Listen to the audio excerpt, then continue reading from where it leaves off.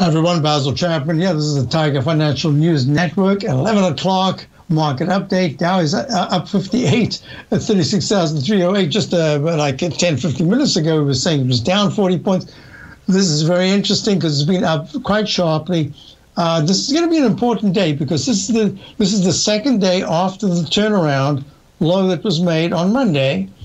This is the day where we start to see which are the stocks that could lead further gains, which are the ones that are just they don't have the strength. So we'll see what happens at the end of the day. Looking at the S&P, the S&P right now is trading at um, 47.25 up 12, had a nice spike up to the 47.48 level.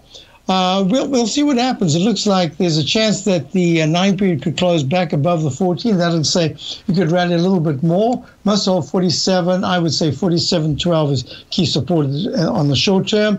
And you're looking at the QQQ, the one, two, three. There we go, pulling back from the high of the day at 390.20. It's trading at 386.74, up 94 cents. Just hasn't been able to close above that 14 period moving average for quite some time watching that closely. And you're looking at the IWM, the Russell 2000, very weak, down a dollar at 216.57. Gold's had a nice move up. Uh, it's trading up five at 1823.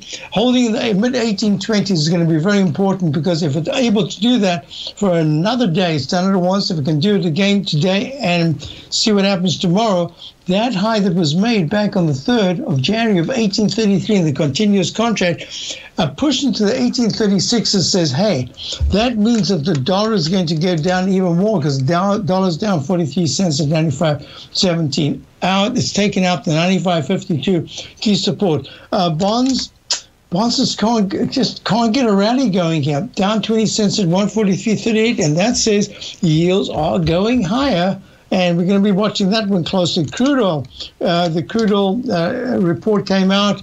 Uh, this is the inventory, and it looks like the market is taking it well. It's up $1.24 at 82.46. It's trying to tackle that previous high in the continuous contract that was made back in the 29th week of the 29th of October of 84. Uh, 84.70 something. Yeah, 8418. So that's what we're looking at. And I'm going to hand you over to Larry Pesavento.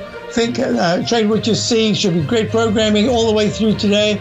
Uh, you've got Larry, you've got Thinkorswim, you've got Steve Rhodes, Dave White, and Tom O'Brien wraps it up at 3 to 4 o'clock today. Stay tuned. Great program. I'll be back tomorrow morning for my show at 8 o'clock to do its early edition. It'll be at 10. Have a, have a